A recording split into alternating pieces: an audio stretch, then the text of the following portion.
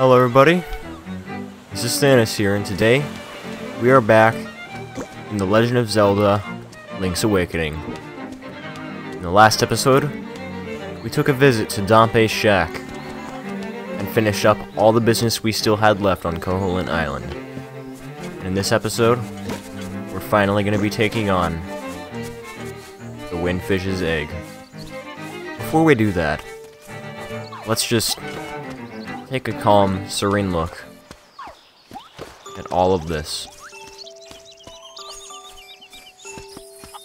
Been quite the journey.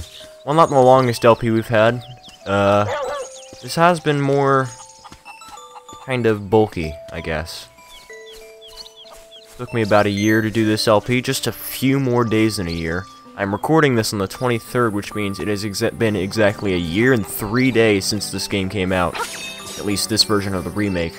And yet, I still feel like uh, this game could have taken longer to do. It's so weird that we're already 100% done every already. Now, that being said, there are some things that you cannot do in this version that you could do in Link's Awakening DX for the Game Boy Color. This was a uh, re-release of the game made for the Game Boy Color. The original version was on the Game Boy. And in Link's Awakening DX, first of all, the game of course supported color. However, Link's Awakening DX also had a photography shop. The photo shop was an area where you could purchase, or not necessarily purchase, but the vendor of the photo shop basically took pictures of you at, at random moments in the game. And a lot of these pictures are really funny, so I'm just going, I'm, I'm going to be courteous enough to go ahead and show those on screen right now, because these pics are exactly where, are exactly, uh, what you can kind of find in Link's Awakening DX. Uh, Link's Awakening DX itself, well, you can probably find an aftermarket version on something like eBay or used game store sometimes. I would be surprised if you did find it at a used game store, though. However, you can also find it on the 3DS eShop, which is still open as of the time of this recording. Um, to my knowledge, though, it isn't available legally anywhere else. Alright. This is the last look we have to take in this town. And, with that, all done, we're gonna pull out our Ocarina, play Manbo's Mambo one last time, and we're gonna teleport to Dampé's shack.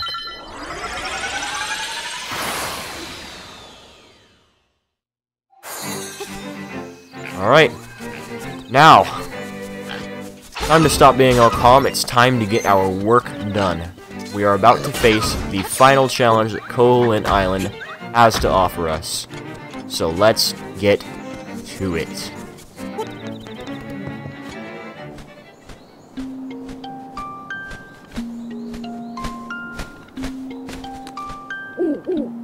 Oot! The windfish sleeps long and dreamily in the egg above. You play the eight instruments of the sirens in front of the egg, he will awaken. This, my friend, is the only way for you to leave the island.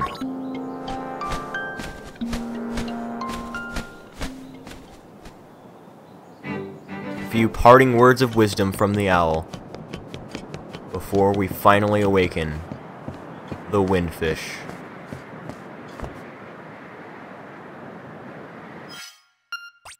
Let's go ahead and take out the Ballad of the Windfish and play.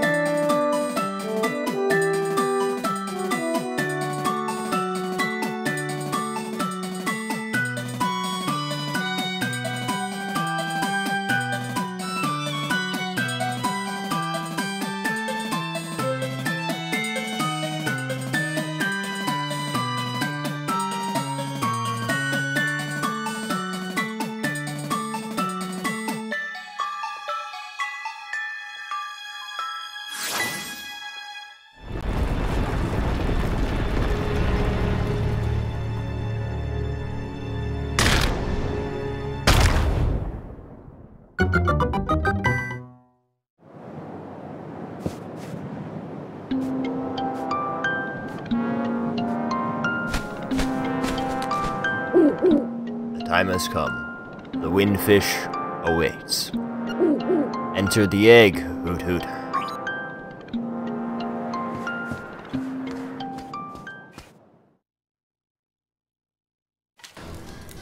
Alright, this is the final pseudo-dungeon of the game. It's not really a complete dungeon in the sense that there's not really much of a real challenge you're facing here.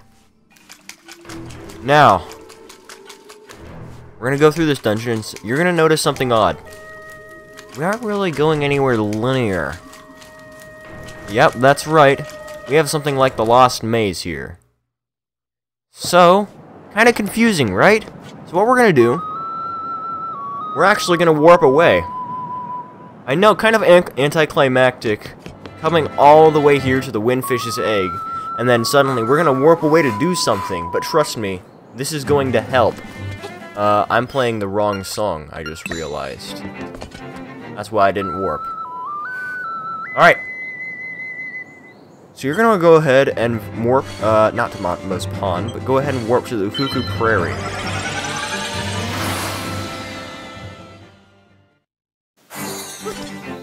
And you're gonna want to go ahead and head all the way to the library. We have not gone there since we've done the color dungeon. So it'll be quite interesting to see what that place has in store for us.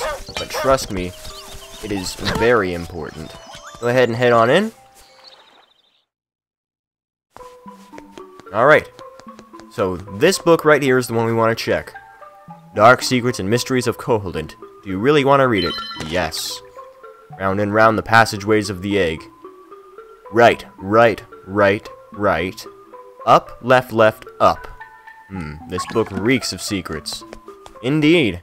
So, in case you had made the guess, and it's a really easy guess, the order we're going to take the passageways of the Windfish's egg in are right, right, right, right, up, left, left, up. It's very simple, and to my knowledge, it's randomized every time. However, I'm not 100% certain on this. So, you may have a different path, most likely will, for when you take on the Windfish's egg. So, I highly recommend you visit the library to figure it out. So, we're gonna head back all the way inside of the egg here. And just like the library book said, we're gonna hop right down. Taking up first. And now, we're gonna go right. Right. Right. Right. Up. Left. Left. And up. And we've finally found the final area. Let's hop in.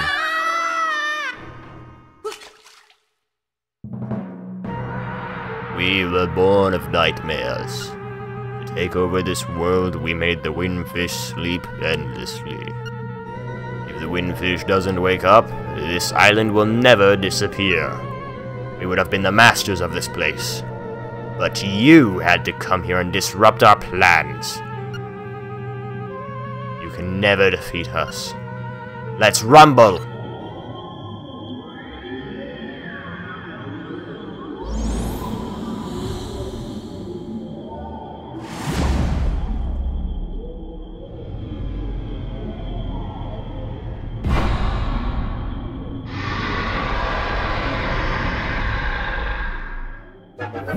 This is the final boss of Link's Awakening. I... He actually has a varied attack pattern every time. So, what you want to do is just go ahead and avoid these bounces right now. To my knowledge, you can't hit him in this current state. Just avoid him as much as possible. Right. I believe this is the case. I'm not 100% sure what... Oh, yep.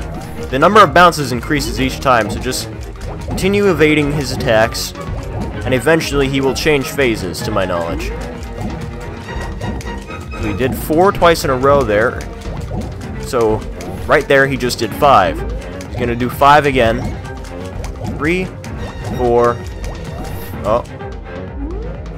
One, two, three, four, and five.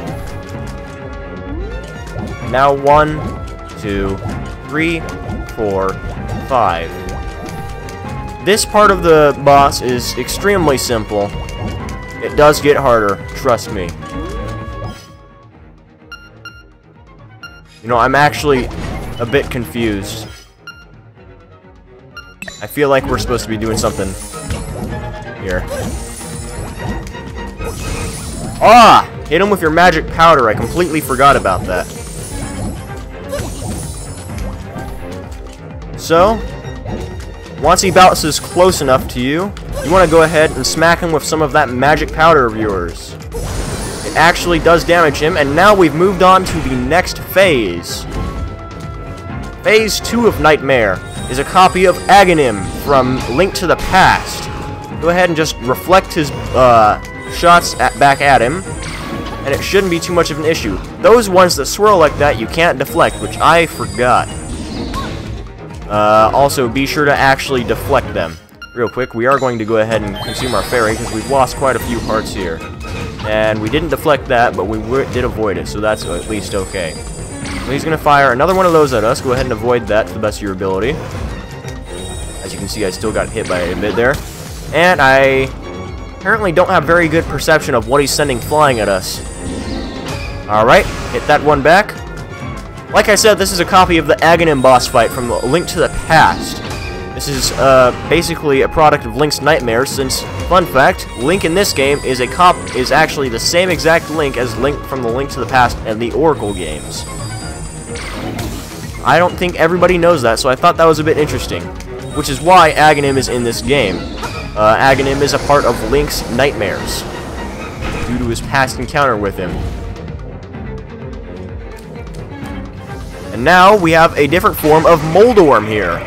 This is exactly the same as the normal Moldorm boss fight, so just go ahead and move on with it. However, the last part of it is evidently a bit crazy, so go ahead and just hit him as best you can, and he'll move to the next phase once again.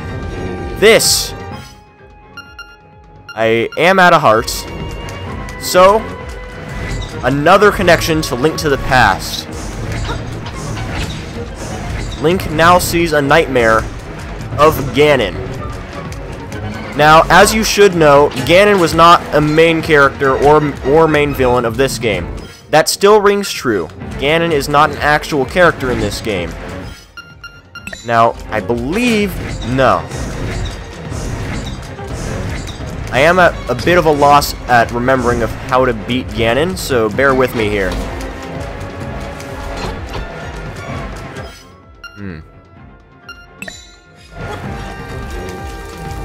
I'm going to try putting bombs at him. That does not work.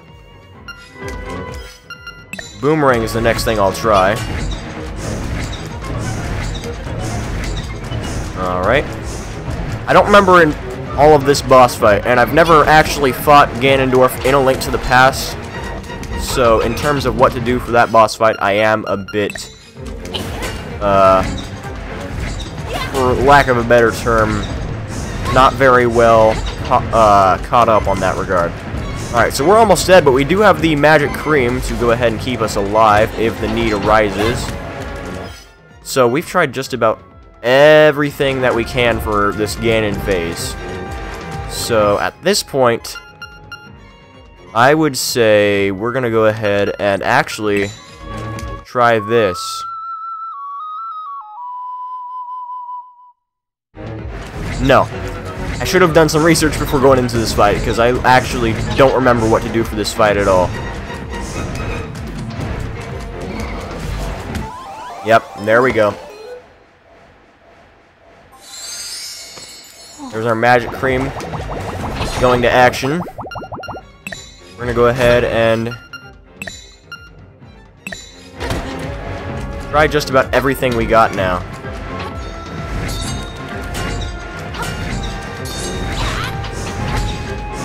Alright, so we can't hit these keys here. Alright, I'll be right back. Alright. So, when he throws his trident like this, you're actually going to want to dash attack at him.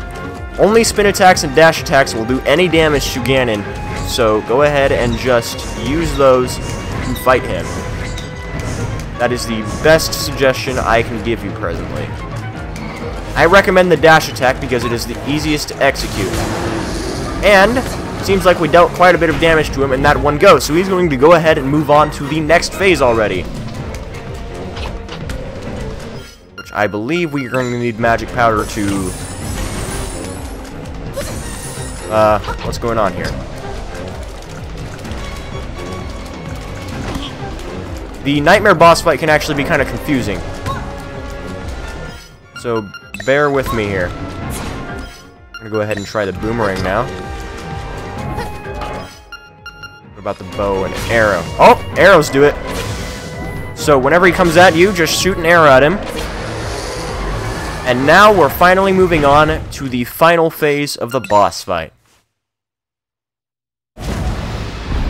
This is the true form of the boss fight. Whenever he opens his eye, you just shoot an arrow at it, and you'll be fine. This is by far the easiest phase of the boss fight. So, uh, not much of a reason to bid you good luck for this part, because it's extremely easy to do this part. Alright. Kind of reminds me of a pendulum, the way he swings his arm back and forth. I'm pretty sure he just loops it entirely around his body, but it looks kind of like they're knocking against each other, which is kind of interesting. Alright, we're running low on health, which is not good. So we gotta be a bit more consistent with our jumps. Oh! This island is going to disappear. Our whole world is going to disappear. Our world. Our world.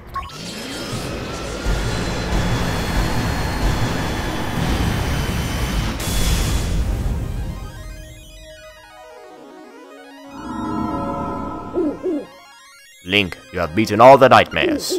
Climb the stairs before you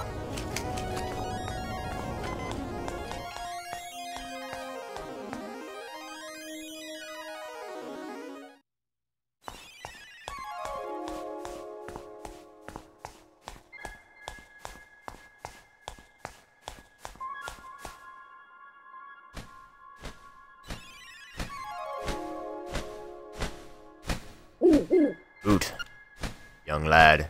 I mean, Link. The hero. You have defeated the nightmares. You have proven your wisdom, courage, and power.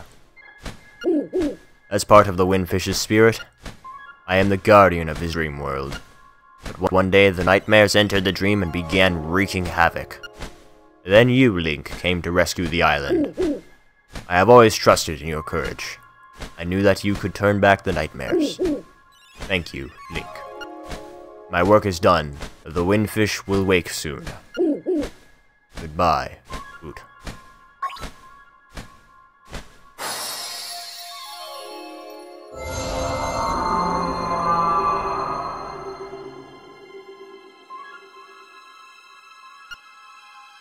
I am the windfish. Long has been my slumber. In my dreams, an egg appeared. Was surrounded by an island with people, animals, an entire world. But, verily, it be the nature of dreams to end. When I dost awaken, Koholint will be gone. Only the memory of this dreamland will exist in the waking world. Some day, thou may recall this island. That memory makes the dream world real. Come, Link. Let us awaken. Together. Play the eight instruments. Play the Song of Awakening.